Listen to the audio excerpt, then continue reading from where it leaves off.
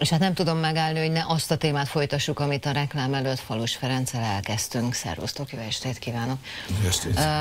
Az egészségügyel, mert hogyha mindig azt szoktuk mondani, hogy, hogy egy-egy párt ez egészségügyel ha valamivel, akkor az egészségügyel választást tud nyerni, választást tud veszíteni.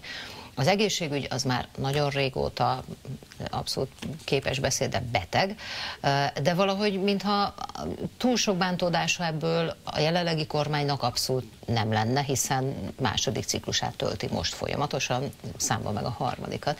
Hogy az érdekérvényesítő képessége a betegeknek, a potenciális betegeknek nem tud érvényesülni, és nem tudják az akaratokat Pont erről beszéltünk, hogy említettem Kunce Gábornak itt, a, hogy amik a pártelnöki időszakában és programról beszélt, meg egyáltalán arról, hogy miként kellene ebben az országban működni. Emlékszem rá, hogy talán jól emlékszem, hogy az első helyen említette mindig a, az egészségügyet, és pontosan azért, mert olyan állapotban az egészségügy, mert akkor is ilyen állapotban volt, most nem tudom, hogy ezért estetek ki a parlamentből, mert mindig az egészségügyről beszéltél, eh, vagy egyszerűen tényleg azon, amit az Olga mond, hogy, hogy nem, egyszerűen nem, hiába van mindenkinek egy története, mint ahogy előbb a múltkor is erről beszéltünk, már egy negatív története, hogy mégsem üti át az inger küszöböt úgy az egészségünk, hogy azért valamit tegyünk is. A szűrő programokon kívül amelyek szintén hagynak kívánni valót maguk után.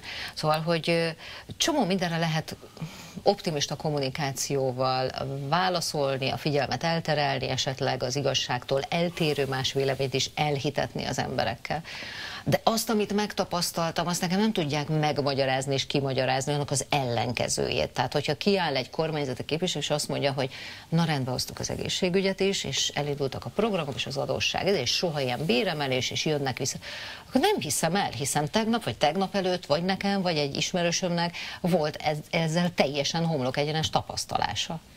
De igen, és hozzáteszem, hogy már 94-ben is azzal kampányolt hallottam sok helyen, hogy az egészségügyel valamit kezdett 94-ben, 22 évvel ezelőtt, e, és mondhatom nyugodtan, mert én is benne vagyok, hogy a politika lassabb bocsánatot kérhet a magyar egészségügyért, meg a, egyébként az oktatási rendszerért is a e, emberektől.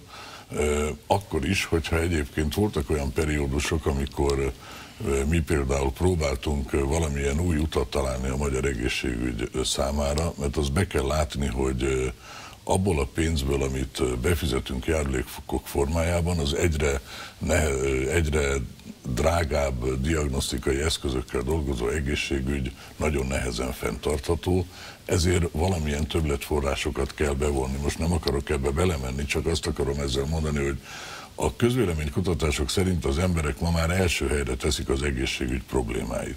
De amikor találkozik az intézménnyel, akkor persze találkozik az ehetetlen étellel, a kitakarítatlan WC-vel, de ugyanakkor... És a WC-ben felejtett Azzal nem, mert akkor már előbb felfedezték volna, de ugyanakkor találkozik a nővérrel, amelyik mégiscsak ott törődik vele, és látja rajta, hogy, hogy egy űzött vadként közlekedik.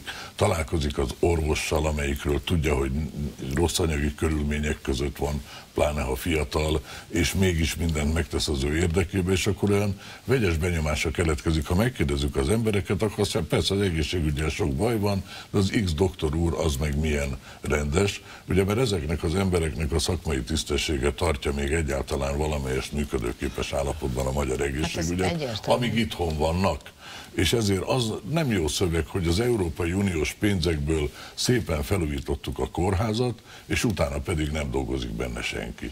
Na most azon a helyzeten, amit örököltek, jelentősen nagyon sokat rontottak, mert pénzt vonnak ki az egészségügyből is, meg az oktatásból is. Tehát amikor mi kerestük, hogy hogy lehet többlet forrás bevonni, az ő válaszuk erre az volt, hogy nem kell vele foglalkozni, veszünk belőle ki pénzt. És ez látszik egyre rosszabb állapotban van, mint De miért nem, bocsánat, miért nem érzik a politikusok annak a súlyát, hogy ebbe súlyosan bele tudnak bukni? Vagy pedig azért nem érzik, mert, mert hogy, hogy az az igaz állítás, hogy a 300 forintos vizitdíjba bele lehet bukni, de ugye az egész nagy rendszer átalakításának hiányába Pontos, soha senki pontosan, nem fog. Pontosan így van. Hát nézzük meg, hogy hat éve van ez a egyre romló, folyamatosan romló helyzet a magyar egészségügybe. Tudom, hogy ma is kiállt valaki, és azt mondta, hogy rendben raktuk az egészségügyet, egy másik meg, hogy nyugalom van az oktatásban, de ez nem igaz.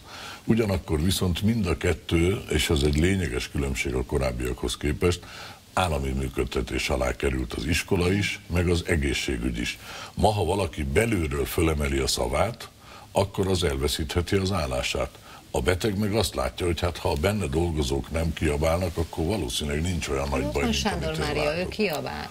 Hát igen, szegény, az nagyon egyedül maradt. Hát rendszeren kívül is került egyébként a Sándor de... Mária. De a nagy különbség köztetek és a mai kormányzat között, hogy ti elmondtátok, hogy baj van az egészségügyen, a mai kormányzat meg azt mondja, hogy rendbe tettük az egészségügyet. De aki azt mondta, hogy baj van, és hogy ezt is ezt kell csinálni, azt meg meg is buktatták. Igen, nem valószínűleg nem az egészségügy miatt, bár az is hozzájárult hát egyébként az nyilván. Tehát az a szociális népszavazás az ütötte ki igazán a, annak idején a koalíciót, ami, ami ugye a, a kórházi napidíj napidíj és a tandíj. Ugye, tan, és csak, ö, ö, ja. Az meg ugye azóta mekkora lett? Hát a gyerekek 60-70 ezer forintos havi tandíjat fizetnek egy felső Igen, de hivatalosan nincs tandíj. Hát persze, hát hivatalosan, jó, de most jó, ez hivatalosan már lassan én se vagyok, de hát azért már mégis, szóval egyszerűen. Ugyanakkor viszont a másik oldalon meg jön egy tízezer forintos ajándék, ugye a miniszterelnök mai bejelentése a nyugdíjasoknak, ami meg nagyon sokak esetében azt mondja, hát akkor ez mégiscsak törődik velünk, mégiscsak észrevet minket. Ugye ez azért többszörös a 300 forintnak, szóval ez egy érdekes játék, hogy ilyen apró napi üveggyöngyökkel úgy tűnik, hogy el lehet fedni a hatalmas nagy görgő köveket, amelyek majd előbb-utóbb egy péntek elsöprik a Az, az egész biztos, hogy az Orbán az a nagyon jól ráérzett a szó, úgynevezett szociális népszavazásnál, hogy az embereket meg lehet mozgatni azzal, hogy ö, ö, ne, ne akarjanak fizetni, mert ki az, aki valóban arra a kérdésre de, de pozitív választ egy kicsit veled, mert a második kerületben, meg a tizenkettedik kerületben volt a legnagyobb a részvétel is, meg a legnagyobb az igenek aránya is, már arra a kérdés, hogy töröljék el azok meg nem annyira a szociálisan legrosszabb helyzetben lévő De én szem nincs Ez ilyen lineáris összefüggés egyébként. Szimpátia a, alapján igen, szoktak népszavazás is a, a, a szociális helyzete és a, a szavazata között, de önmagában egyébként arra a kérdésre, hogy akarsz-e fizetni, általában nagyon tudatos polgárnak kell annak lenni, aki azt mondja, igen, én szeretnék fizetni azért, hogy az egész egészségügy jobb helyzetbe kerüljön. De nem is ezt kérdezték, e, tehát hogy ennek a, de hát ezt tudjátok, tehát ennek a, a filozófiája az, hogyha van egy ilyen 300 forint, az jól megragadható, számszerűsíthető, konkrét összeg, de onnantól kezdve azt kell hangsúlyozni, hogy ez a kormány annyira tehetetlen, annyira szerencsétlen, hogy még az egészségügyet sem tudja úgy irányítani, hogy ne velünk fizettesen, miközben egy életen keresztül vonják tőlünk a tévét. És akkor innentől kezdve nem az a lényeg, hogy 300 vagy 422 forintot kell fizetnem, hanem alkalmatlan a kormány arra, hogy az egészségügyet Igen, de azt gondolom, hogy arra, amit te mondasz, az, az, az, az a választásról szól, eh, az, még önmagában nem lehet egy ilyen népszavazásra megmozgatni az embereket, de hanem azzal, hogy ne fizessél, azzal lehet. Is, és, és a másik vége, mert azt nem mondtam, a másik vége, tehát ezzel szemben, hogy nem akarok én 2008-ra ilyen értelemben visszanyúlni, csak hogy szembeállítani azzal, hogy, hogy úgy kezdtem, hogy Orbán jól érzett rá, és jól érez rá arra is, hogy erről a múltkor is beszéltünk, hogy mikor kell adni, amikor most kifújt az a kampány, ami a uh-huh. menekültekről szólt, hogy most el kell kezdeni béreket emelni, közeledik a választás, nyugdíjasokat meg kell nyerni.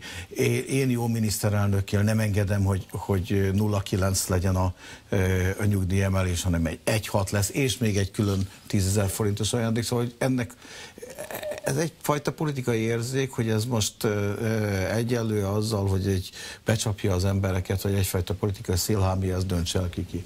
De még ezt hadd tegyem hozzá, hogy az kétségtelen, hogy a Fidesz azt is lehet mondani, hogy jól kommunikál, meg azt is lehet mondani, hogy hihetetlenül gátlástalan, mert például ez a 10 ezer forint, ugye? Kettő között kicsi a határ? Hát szerintem nincs is. Már, most nem a Fideszre mondom, hanem a kommunikáció és a gátlás. De minden esetre csak a 10 ezer forintnál maradva. Ugye most mindig meghallgathatjuk, hogy ez a kormány megőrzi a nyugdíjak reálértékét. Na most 2002 és 2010 között a nyugdíjak reálértéke azzal együtt, hogy el kellett venni a 13. havi nyugdíjat, tehát ezzel együtt 20% kal nőtt. És a Fidesz el tudta érni, hogy a nyugdíjasokban az van, hogy ezek elvették tőlem a 13. havi nyugdíjat, és egyébként pedig mi azt már visszaadtuk, mert, a, e, mert 2000 2012 és 2015 között valóban a nyugdíjak reálértéke 8%-kal növekedett, most meg ugye tartja azzal, hogy az inflációhoz igazít. Ugyanakkor viszont senki nem mondja el, nem is értem, hogy miért, hogy azzal, hogy a svájci, indeklás, svájci indexálásból áttértek a infláció követő nyugdíjemelésre, egy olyan időszakban, amikor egyébként hatalmas béremelések következnek a gazdaságban, a nyugdíjasok vészesen le fognak maradni, óriásiak lesznek a különbségek a később nyugdíjba vonulók és a mostaniak között, és a jövedelmek és a nyugdíjasok jövedelmei között, és ez a későbbiek során feszültségeket fog teremteni. Csak amikor az ember arról beszél, hogy mi lesz 4-5 év múlva, meg mi lesz 15 év múlva, annak a következmény, amit most csinálnak, az úgy nagyjából senkit nem érdekel. Hát igen, mert soha nem a, a holnapot akarják megnyerni, hanem mindig a mát. Tehát, és erre is azt mondom, hogy a miniszterelnök azt is érezte szerintem most, hogy az a, fajta, az a ö, nyugdíjemelés mérték, ez a 0,9, ez képes lehet arra, hogy nyugdíjas szervezeteket esetleg csatasorba állítson, valamiféle e, érdekérvényesítő képességet mutassanak föl, és erre azonnal reagált és lépett, és egy ilyen 10 forinttal, igen, hogyha 300 forinttal is meg lehet vásárolni, 10 forinttal pláne meg lehet vásárolni, te is fogsz kapni. De és nekem na ez a másik, hogy és nekem ez nem ki. kedves és nekem, de mert ő is, ezt már tisztáztuk, de nekünk, és de azt is tisztáztuk, hogy egyikünknek se kellene kapnia olyan a nyugdíjunk, hogy hogy nem kellene kapnunk azt a tízezer forintot, sokkal szerencsésebb lett volna húzni egy határt a százezernél mondjuk, hogy az alatt, vagy a 100 és 150 ezer között, meg 5000 forint és 150 ezer fölött esetleg nem, mert tök fölösleges ilyen értelemben szórni a pénzt. Ez ugye a költségvetésből jön, ez, ez most nem a nyugdíjkasszából megy, mert a költségvetésben van többlet, tényleg ezer helye lett volna, nem kell olyanoknak adni tízezer forintot, akik arra nincsenek igazán rászorulva. Akkor nézzük egy nagyobb összefüggésben. Akár a szaudi milliárdos, aki különböző befektetésekért cserében lehet, hogy valaki valahol elnézte neki azt, hogy a terrorizmus pénzelésével, hasadó anyag kereskedésével, Obama, Obama, Osama Bin Laden pénzügyeinek a intézésével és egyéb más hasonló filmságokkal gyanúsítják ezt, a, vagy ezt az úriembert, és 25 évek körözik. Szóval, hogyha valakinek ennyire szoros közel lehet a hatóságok szerint a terrorizmushoz, de itten egyébként pénzt fektet be, akkor az, az lehet egy jó ember is, miközben súlyos milliárdokkal a terrorizmus veszélyére felhívva a figyelmet a menekültek ellen kampányolunk, szóval sorolhatnánk, és hétről vagy napról napra soroljuk azokat a kormányzati intézkedéseket, történéseket a kommunikációban, amelyek az elmúlt mondjuk egy évben uralták a közéletet és a közbeszédet.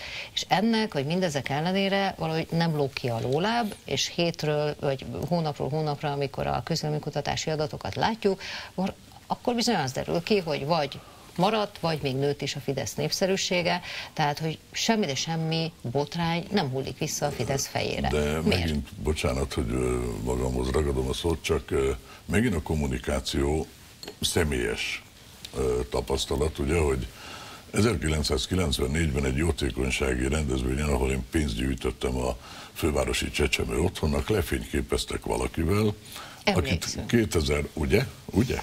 2006-ban lelőttek az utcán. Ez a és, Fontana, a Fontana. A, igen, igen, igen. 2006-ban lelőttek az utcán, és akkor valakinek eszébe jutott, hogy ő csinált egy ilyen fényképet, és én is onnan tudtam meg, hogy a kettő az azonos, aki ott állt mellettem, meg az, akit lelőttek, és ő egy, egy ismert fővárosi alvilági figura volt.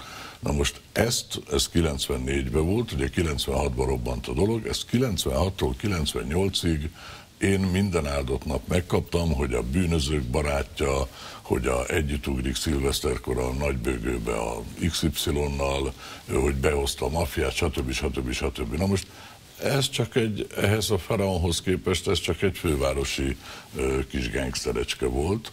Ez itt most a nemzetközi terrorizmus, ez a pénzmosás, ez a nemzetközi terrorizmus finanszírozása, és a miniszterelnök családjával való üzletelés. De ennek és... nem az lenne a következménye, hogy az emberek nagyon felháborodnak, és azt mondják, hogy hát jó, én azért most, most meggondolnám, hogy kiradom a szavazatomat. Na nem ez a következmény. Hát az emberekhez nem jut el az információ. Hát itt jön a probléma, hogy kiradnám a szavazatomat.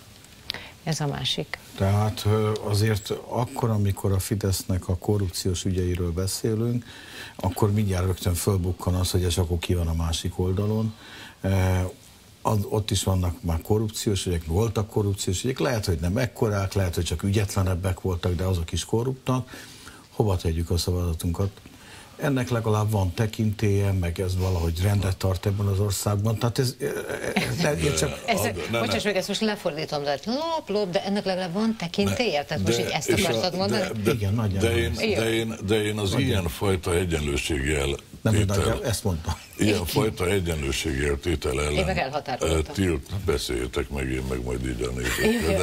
De, de, így, de, szóval ilyen fajta egyenlőséggel tétel ellen én tiltakozom, mert csak gondolj bele, hogy a ország 20 leggazdagabb emberek között négyen vannak olyanok, akik 2010-ben még sehol se voltak, és érdekes módon minnyáján a miniszterelnök környezetében Nem, én, vannak. Én azt mondom, hogy mit mondanak ilyen, az emberek. Hát az, az, de pontosan ez az, ha te is ezt ismételgeted, az emberek rosszul mondják. Hát ilyen, a, ilyen soha nem, miért mert nem? ilyen soha nem volt, hogy a ez a maffia kormány, maffia állam, hogy, hogy az állam a százmilliárdokat felülről osztogatja a kegyeltjeinek mindenféle nyakló kontroll nélkül, 100 milliárdos beruházás 150 milliárdért nyer meg, olvashatjuk, hogy évente a cégeikből milliárdokat vesznek ki osztalék formájában, és ez mind az állam meg az Európai Unió pénze, ugye a mi közös pénzünk, amiből hihetetlen módon gazdagodik egy nagyon szűk réteg. Ez nem azonosítható azzal, hogy milyen ügyek voltak. Voltak sajnos, igen, de nem, az, nem, nem lehet... Nem, nem, én, én, én messze nem azonosítottam csak, azzal, csak, hanem csak, egy attitűdöt próbáltam bemutatni. Csak még lépjünk egyet tovább, mert ez van azért, ezt látják már elég sokan, de az egyik probléma valóban az, hogy mi van a másik oldalon, mert ott éppen semmi.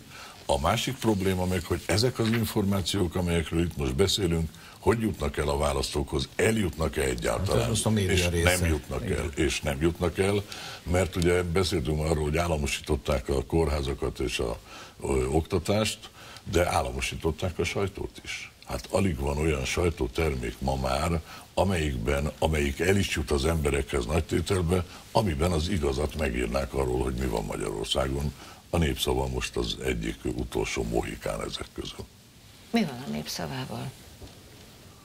Köszönjük. köszönjük. A, a megmentési akcióval. Nő a példányszám, meg, szinte megdupláztuk, úgyhogy Minek hatására? Szárnyalunk. Tessék? Minek hatására? Hát alapvetően természetesen a népszabadság bezárásának következtében, Aha. tehát hogy egy kicsit szerénytelen lenne, hogy Világos. azt állítanám, hogy most szerkesztőség annyira összekapta magát, hogy...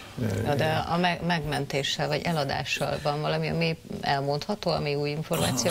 Hát ez nyilvánosságra került, hogy az a Liechtensteini vagyonkezelő cég, Daniel Fogt nevető úriember az, aki megvásárolta, én magam még nem találkoztam vele, de hogy úgy tudom, hogy ez most már az utolsó fázisában van, tehát hogy effektíve a pénz átjötte, vagy aláírták, ezt nem tudom pontosan, de az biztos, hogy a szerkesztőség hamarosan költözni fog, elkezdődik egy együttműködés a, a vasárnapi hírekkel, egyfajta integráció, tehát valami elindult, és el fognak indítani egy kampányt, hogyha már népszaváról beszélgethetünk, akkor ez hogy még több előfizetője legyen a lapnak, mert fontos. Figyelj oda, mert a népszabadságnál is a költözéssel kezdődött. Igen, ezt mi is gondoltuk, hogy esetleg a saját kezünkbe visszük át a, a, pizzát a, a, a dobozokat. A, a, meg a dobozokat, nehogy az történjen, hogy mire odaérünk, addigra nem lehet betenni. És egyébként a, kíváncsi vagyok a véleményetekre, így a 21. században, az internet korában, amikor egy ekkora vagy ennél kisebb kügyű, mint ami itt előttem van, és folyamatosan nézem, hogy mi történik a világban, hogy le nem maradjak valamire, számít az, hogy most kinek a kezében van a népszabadság, a népszava, a megyei napilapok, a nem tudom micsoda, e, meg hogy hol van lehetősége elmondani az ellenzéknek, miközben minden megtudható az internetről. De hát ne az igaz, csak az a kérdés, hogy mekkora az internet elterjedtsége, és bizonyos korosztályok mennyire használják a, az internetet. Inkább a, a korosztályi eltérés. Én édesanyám 94 éves, és ilyenkor majd felhív, hogy nem mondjak ilyet, mert csak lesz és reggel azzal kezdő, hogy egy iPad, volt. ugye? És igazából kuncányukának innen is üdvözöljük. Szóval, hogy reggel fogja az iPad-et, és két órán keresztül nézi a híreket, és ott úszkál az inter. Bizony, bizony, de ugyanakkor viszont az igazán jellemző persze az, hogy nézik az M1, M2, stb., mert ezek az ingyenes csatornák, és hát nem, nem, nem, nem jutnak el a hírek. Szóval Természetesen egyébként nagyon számít, hogy kinek a kezében van, hiszen nem pusztán az, hogy vannak helyek, ahol meg tudnak jelenni a hírek, hanem annak a számossága is fontos. Tehát, hogy hány helyről hallom, hogyan érkezik meg hozzám. És mennyire. És hát ugye nem véletlen, különben is erről már beszéltünk egyszer, hogy a Fidesz kormány az utóbbi egy évben nagyon erősen koncentrált az online-ra is, éppen a fiatalok miatt. Tehát a korosztályokra is ezek szerint. Legyen meg a nyomtatott is, tehát a print is, meg az online is. Köszönöm szépen, hogy itt voltatok.